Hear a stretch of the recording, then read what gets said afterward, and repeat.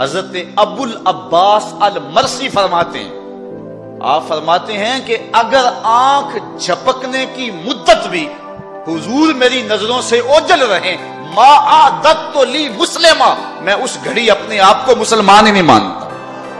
ہر وقت حضور میری نگاہوں میں ہوتا۔